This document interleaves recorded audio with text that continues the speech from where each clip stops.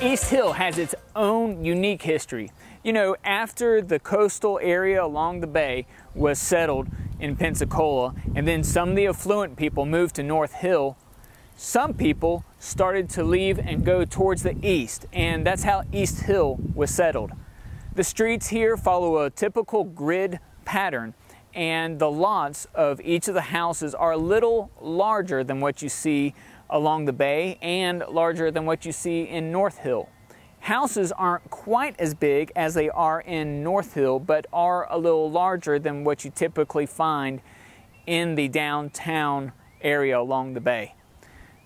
Three bedroom, two bath, brick houses are typical with a yard and ancient oak trees. Houses here generally start at about 200,000 and move up from there. I'm Rob of Rob Brooks Realty, and this is where I live.